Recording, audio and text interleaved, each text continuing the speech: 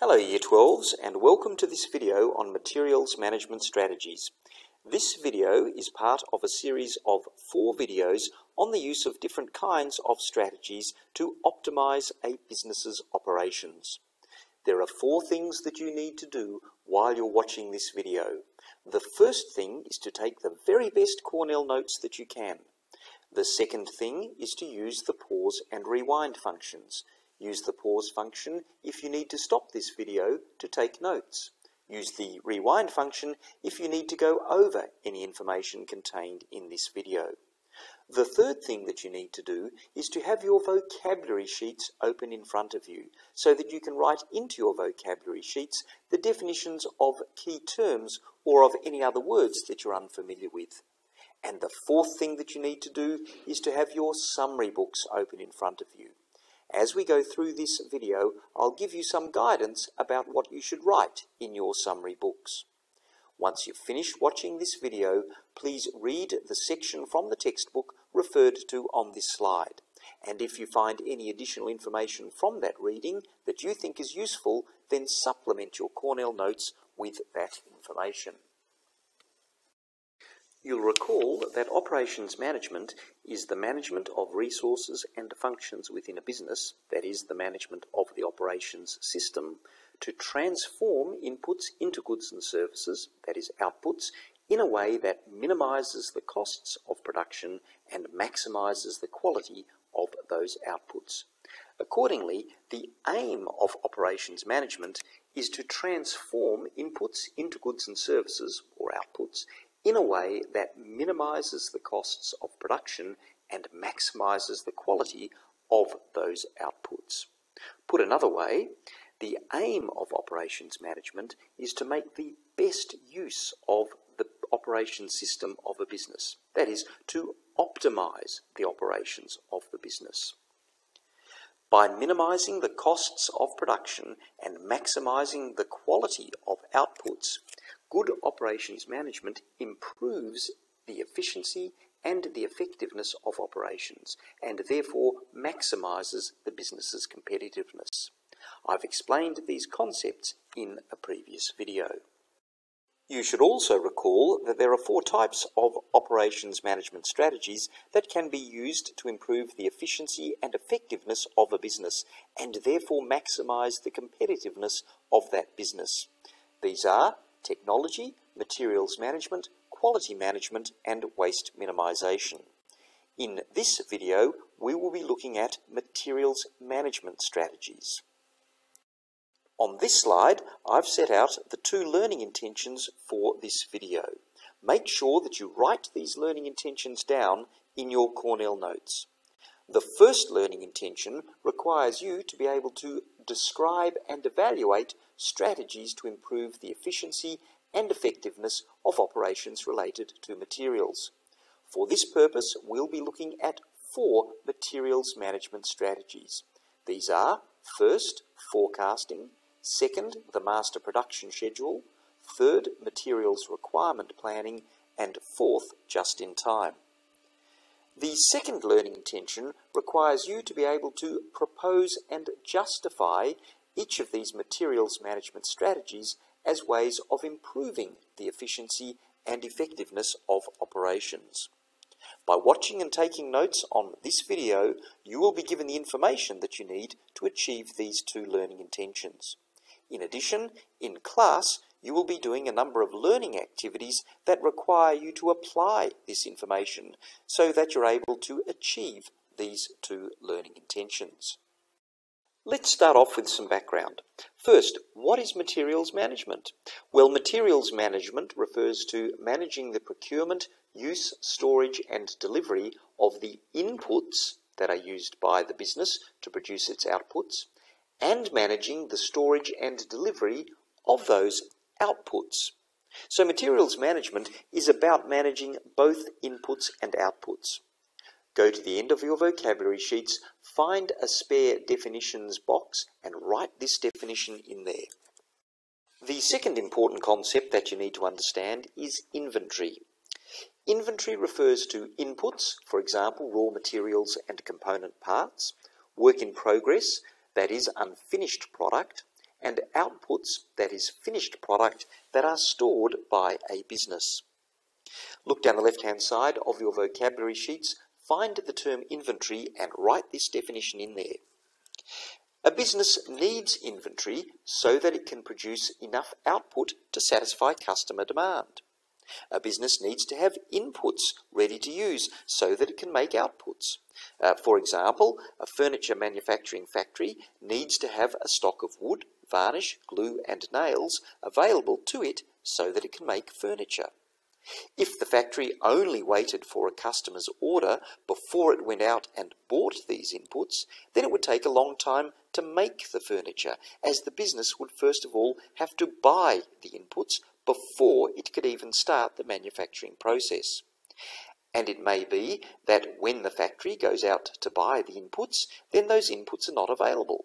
Uh, for instance, as where the factory needs a particular type of wood to manufacture the furniture.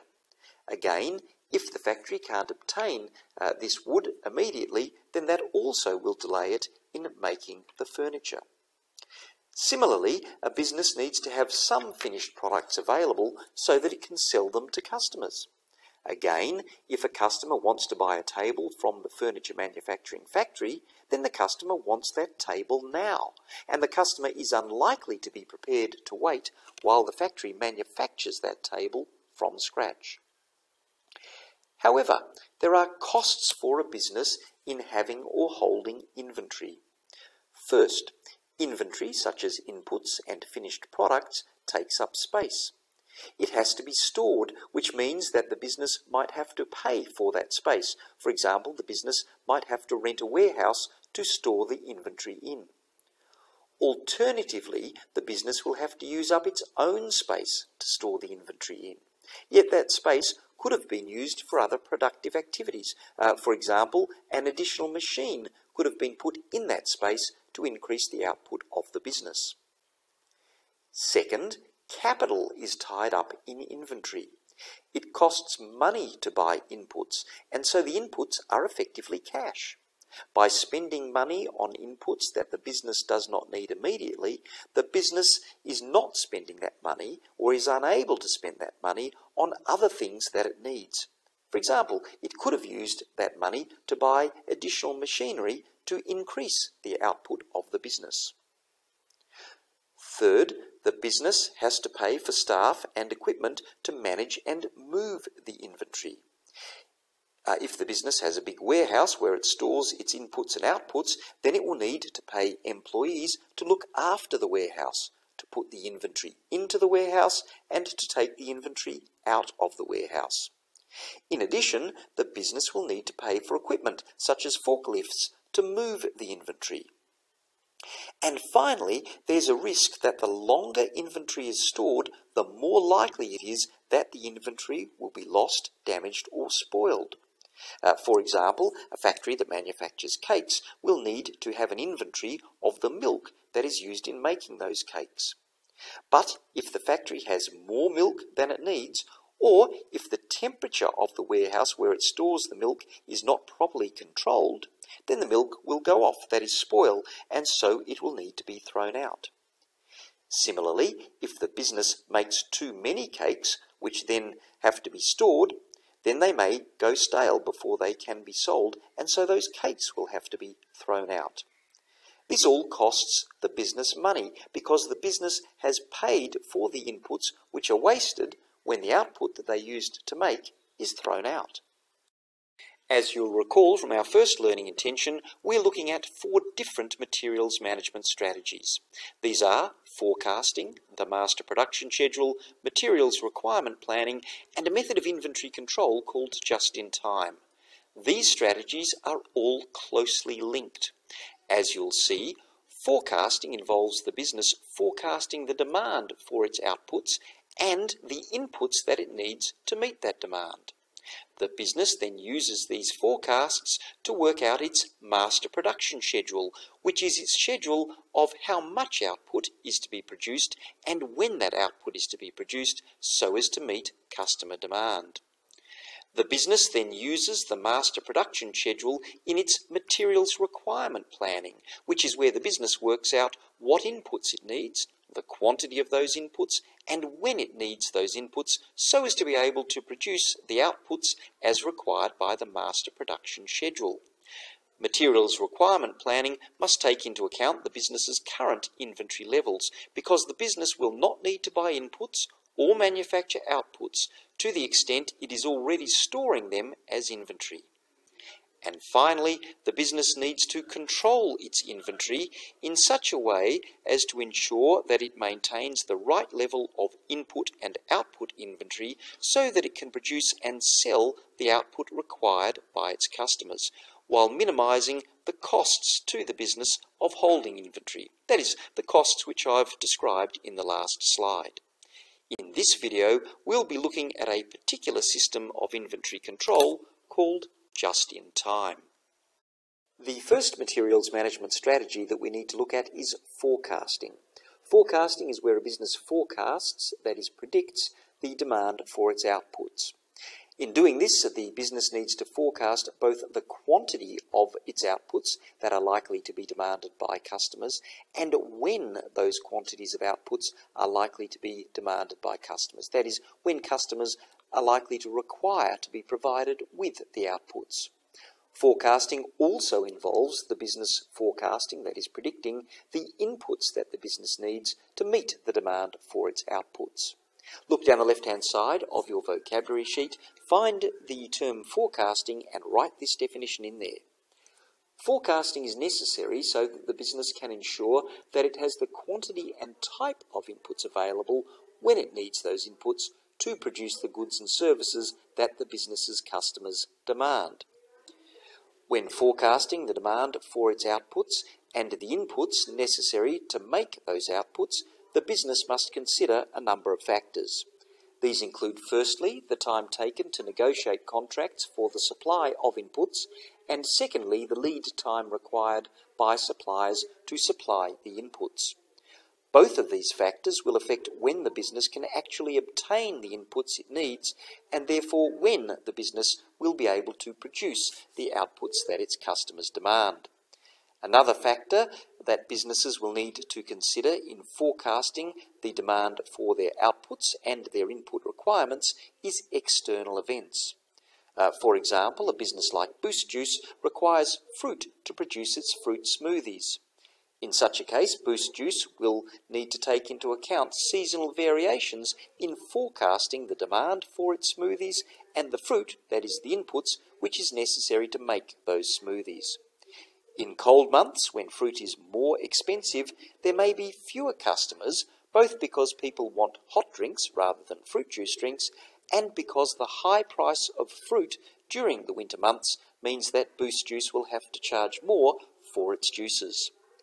Similarly, a business that Im imports inputs will need to take into account likely changes in the Australian dollar exchange rate.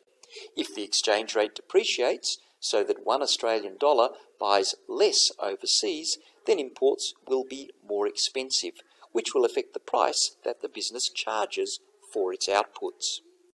The second materials management strategy that we need to look at is the master production schedule.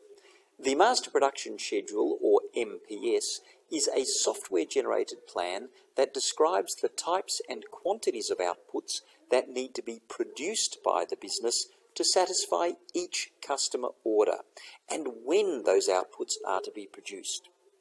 The master production schedule is based on forecast demand for the business's goods and services. Look down the left hand side of your vocabulary sheets Find the term master production schedule and write this definition in there. You can see the link between the master production schedule and forecasting, which we've just discussed.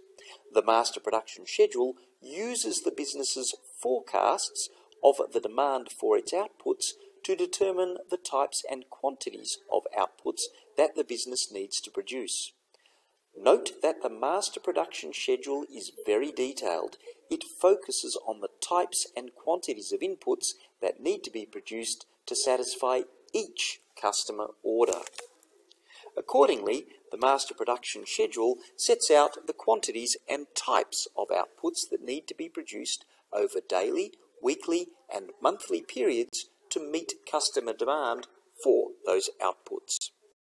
The third materials management strategy that we need to look at is materials requirement planning. Materials Requirement Planning, or MRP, refers to a software generated plan that describes the types and quantities of inputs that need to be procured by the business to produce the outputs required to satisfy each customer order in the master production schedule. This plan also sets out when those inputs are required. Look down the left hand side of your vocabulary sheets Find the term materials requirement planning and write this definition in there.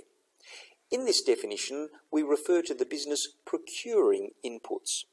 Procurement means the purchase of inputs by the business. Look down the left-hand side of your vocabulary sheets, find the term procurement and write that definition in there.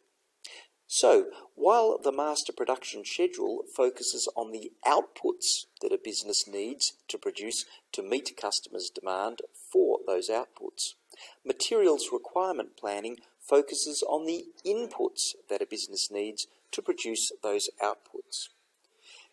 You can see the link between the master production schedule and materials requirement planning. Materials requirement planning sets out the quantity of inputs required to produce the outputs that the business must produce in accordance with the master production schedule. Materials requirement planning also sets out the time by which those inputs are required to enable the business to produce the outputs that the business needs to produce at the times specified in the master production schedule. There are a number of factors that materials requirement planning must take into account. These include, first, the time taken to negotiate contracts for the supply of inputs. Second, the lead time required by suppliers to supply inputs. Third, the quantities of inputs required to produce um, the outputs that are specified in the master production schedule. Fourth, the current level of the business's input inventories. If the business already has a substantial inventory of inputs, then it will need to procure, that is purchase, correspondingly less inputs to make the business's output. And finally, materials requirement planning must take into account purchasing procedures. Uh, for example, it may be that the business is able to obtain a bulk purchasing discount where it buys more than a certain quantity of inputs from a particular supplier. In this case, the business may want to buy a larger quantity of inputs than it needs at that time so that it can qualify for this price discount.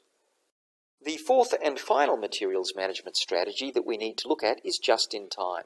Just in time is a system of inventory control where inventory is replaced as it is used.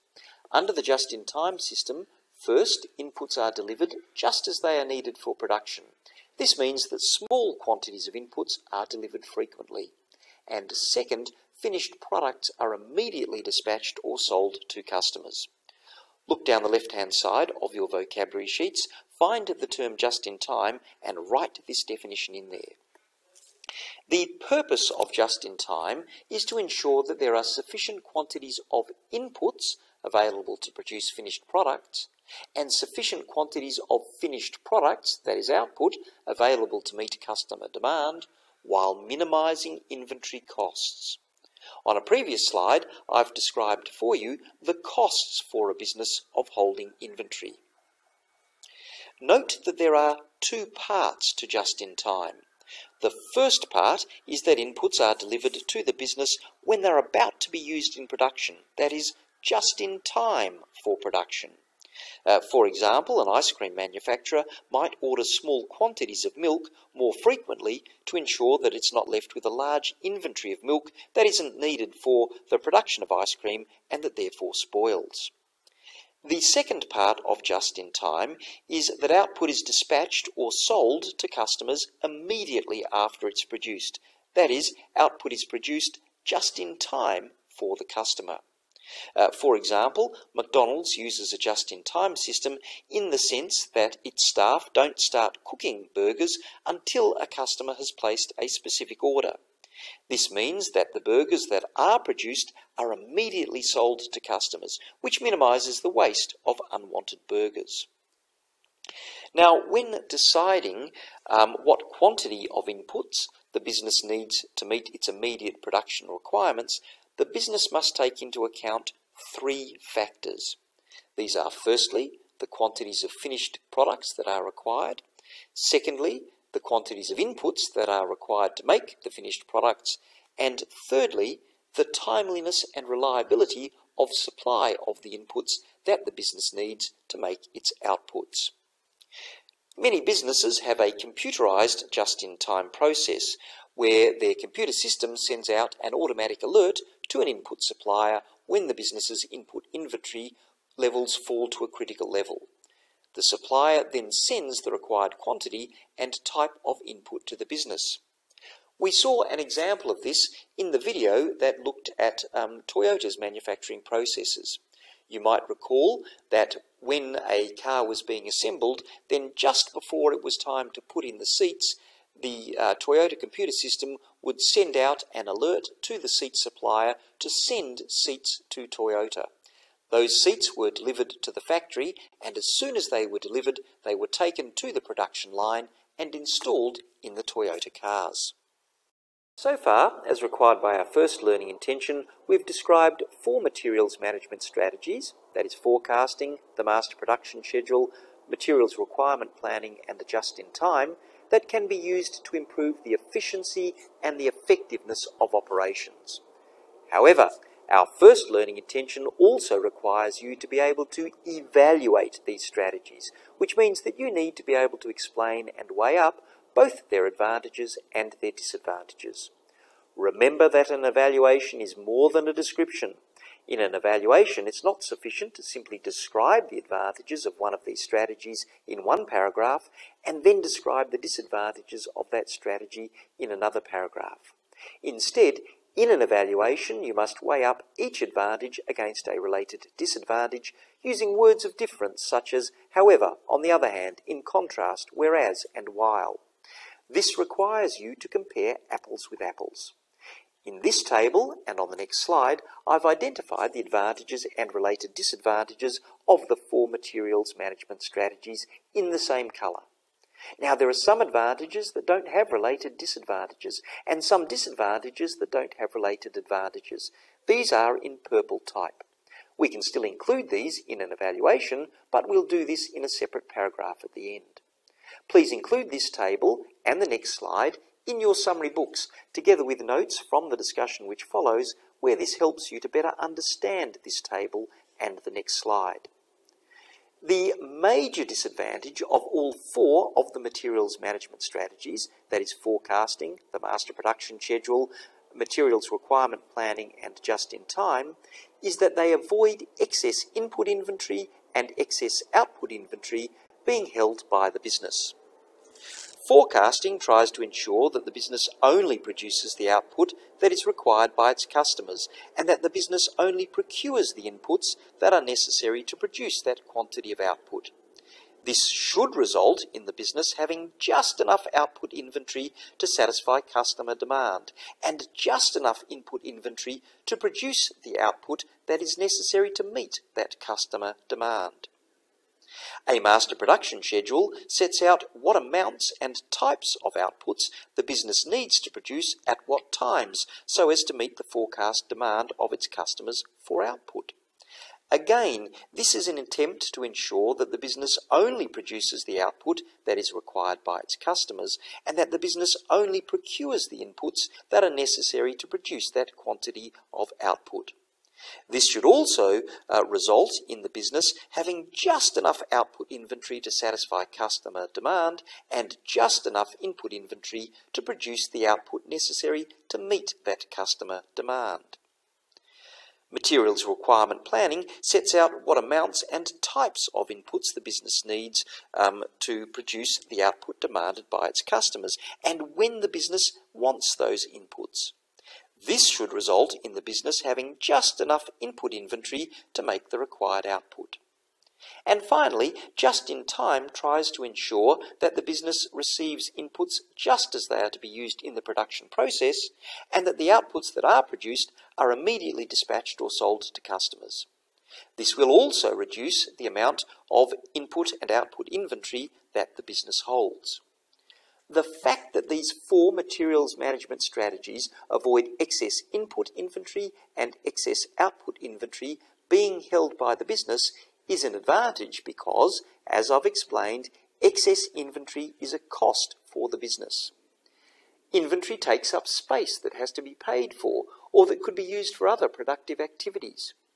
Capital is tied up in inventory. That means that the money that is used to buy the inventory could have been used for other purposes. The business needs to pay staff and buy equipment um, that can be employed and used at the warehouse to manage and move the inventory. And inventory which is stored can be lost, damaged, or spoiled. On the other hand, it can be costly to implement these materials management strategies. For example, the business will need to buy software to produce a master production schedule and to undertake materials requirement planning. It'll also need to buy software if it wants a computerized just-in-time system that sends alerts to suppliers when inventory falls to a critical level so that the business needs more inputs. Another advantage of these four materials management strategies um, is that they enable production to run without interruption because they ensure that the right inputs are procured in the right quantities at the right times. And a final advantage of these four materials management strategies is that they help avoid underproduction. Underproduction results in shortages of output, which means that the business is not satisfying the demand of its customers for the business's goods and services. These four materials management strategies avoid underproduction by ensuring that the business has enough inputs to make outputs and enough outputs to meet customer demand. Whereas the previous slide set out advantages and disadvantages that are common to all four materials management strategies, this slide sets out advantages and disadvantages that apply to only some of these strategies. Please remember to include this slide, or a summary of it, in your summary books. An advantage that is shared by forecasting, the master production schedule, and materials requirement planning is that they all assist in the business meeting customer demand for its outputs. This is because they ensure that inputs are matched to the outputs that need to be produced to meet that customer demand. Forecasting predicts customer demand for the business's outputs, and the master production schedule sets out the quantities and types of outputs required to match each customer order and when that output needs to be produced. It is only once a business's outputs have been scheduled in this way that the business's input requirements can be determined. That is, the quantities and types of inputs and when those inputs are needed, so that the business can produce the outputs required to meet customer demand. The purpose of materials requirement planning is to set out these input requirements. However, insofar as forecasting and the master production schedule are concerned, the information that they use, which is based on forecast customer demand, may be inaccurate. This is because it's very difficult to predict the future, and it's not safe to presume that future customer demand will be the same as past or even current customer demand. If the business's forecasts about the types and quantities of outputs that customers will want, and about when customers will want that output are incorrect, then the business will either overproduce or underproduce output and will either buy more inputs than it needs or buy less inputs than it needs.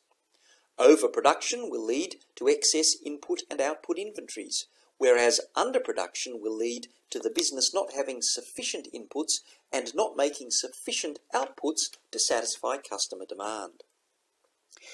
An advantage of both the master production schedule and materials requirement planning is that they give the business flexibility. The business is able to adjust its production in response to changes in customer demand and when the business introduces new products by updating the master production schedule and its materials requirement planning. In this way, the business can ensure that input and output inventory levels are controlled so as to ensure that customer demand is met without the business holding excessive amounts of inventory. On the other hand, the use of materials requirement planning may result in inflexibility in the sense that once inputs are ordered in accordance with materials requirement planning, it can be difficult to change those orders to respond to changed customer demand for the business's outputs. Finally, an advantage of forecasting and uh, materials requirement planning is that they enable the business to reduce the cost of its inputs. This is because by forecasting the business's input requirements into the future, the business may be able to negotiate long-term supply contracts with its suppliers which lock in a favourable price for those inputs, not least because when a business buys inputs in bulk, the supplier will often give the business a discounted price.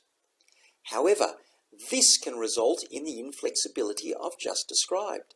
If the business is locked into a long-term supply contract for its inputs, then it may be difficult to reduce its input purchases because that might result in the business buying less inputs than it's contracted to buy from its supplier. Just in time also suffers from some potential disadvantages. First, if the materials that, are inputs don't arrive on time, for example, because of interruptions to the supply of those input materials or because of industrial action at the supplier's factory, then production of the business will be interrupted because there is no buffer stock. Second, there is less time to check the quality of the inputs provided to the business because those inputs are used immediately in producing outputs. Third, there are higher ordering and administration costs because orders for inputs are more frequent.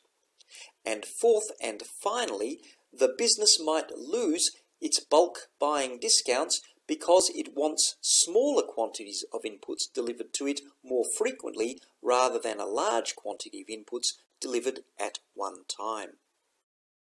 Our second learning intention requires you to be able to propose and justify materials management strategies as ways of improving the efficiency and effectiveness of operations. To do this, you must be able to specifically relate the use of these materials management strategies separately to efficiency and effectiveness. That is the purpose of this table. Please include this table in your summary books together with notes from the discussion which follows where this helps you to better understand this table. All I've done in this table is to take the relevant advantages of the four materials management strategies from the previous slides, still colour-coded, and relate them to both efficiency and effectiveness. By keeping the coloured wording, I'm hoping you can see that you only need to learn the information once to be able to answer both a question that requires you to evaluate the advantages and disadvantages of these materials management strategies, and a question that requires you to justify these materials management strategies as ways of improving the efficiency and effectiveness of operations. Well, how do the four materials management strategies improve efficiency? Remember that when we're talking about the efficiency of an operations management strategy, we're focusing on how that strategy increases the value of output and reduces the cost of inputs. These materials management strategies reduce the cost of inputs and therefore increase the efficiency of a business's operations in two ways.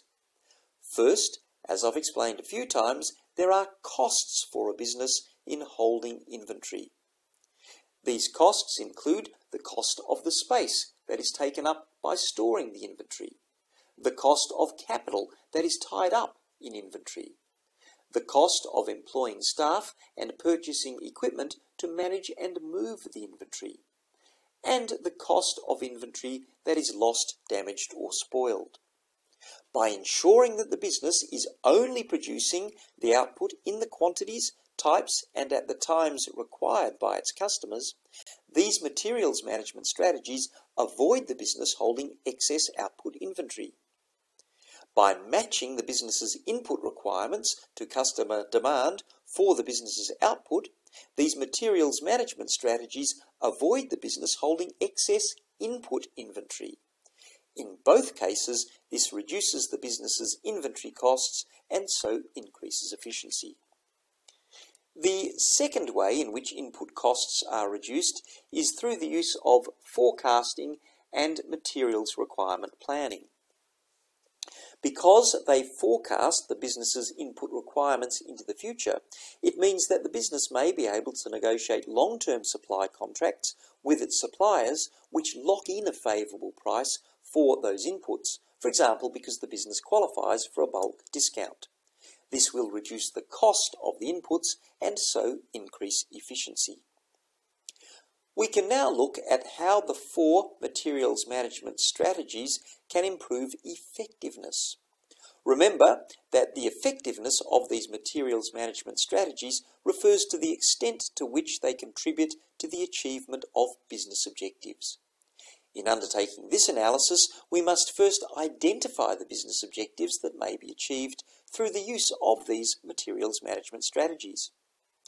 I've chosen two business objectives for this purpose. These are the business objectives of increasing profits and of increasing sales. Well, how does the use of forecasting, the master production schedule, materials requirement planning, and just-in-time contribute to the achievement of the business objective of increasing profits? They do this by reducing input costs.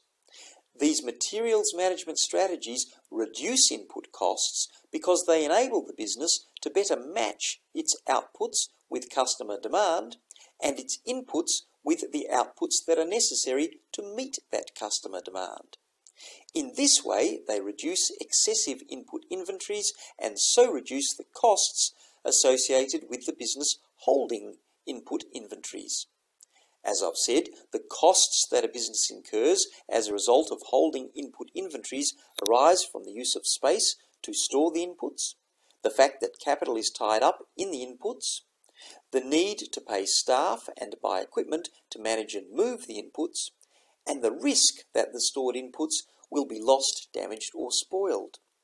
By reducing these costs, the four materials management strategies increase the profit of the business and so contribute to the achievement of the business's objective of increasing profits. How does the use of materials management strategies contribute to the achievement of the business objective of increasing sales? Well, the materials management strategies increase sales in three ways. First, the four materials management strategies enable production to occur without interruption because they ensure that the right inputs are procured in the right quantities at the right times. By enabling production to occur without interruption, the business can produce and sell more outputs. Second, the four materials management strategies avoid underproduction. Underproduction is detrimental to a business because it means that the business is producing less output than is necessary to meet customer demand, and so the business will lose sales. However, using forecasting, the master production schedule, materials requirement planning, and just-in-time ensures that enough inputs are available to make outputs, and that enough outputs are made to meet customer demand. Third, forecasting, the master production schedule, and materials requirement planning enable customer demand for output to be met because they ensure that the business procures inputs that make the outputs the business needs to produce to meet customer demand. Again, this means that the business is producing all of the output that it needs to meet customer demand and so is maximizing its sales. And finally, the master production schedule and materials requirement planning give the business flexibility to adjust its production in response to changes in customer demand or when the business introduces new products. Again, by maximizing its production of output to meet customer demand, these strategies will maximize the sales of output by the business and therefore contribute to the business objective of increasing sales. Well, this brings us to the end of this video As a result of watching and taking notes on this video, you should now be able to do two things. The first thing that you should be able to do is describe and evaluate strategies to improve the efficiency and effectiveness of operations related to materials. For this purpose, we've looked at four materials management strategies. That is, forecasting, the master production schedule, materials requirement planning, and just in time. The second thing that you should be able to do is to propose and justify materials management strategies as ways of improving the efficiency and effectiveness of operations. In class, you'll be undertaking a number of learning activities which will help you to apply the information that is contained in this video and will therefore help you to better achieve these learning intentions. In the meantime, please make sure that you read the pages from the textbook referred to on the first slide. And if you find any additional information from that reading that you think is useful, supplement your Cornell notes with that information. Thank you for your attention.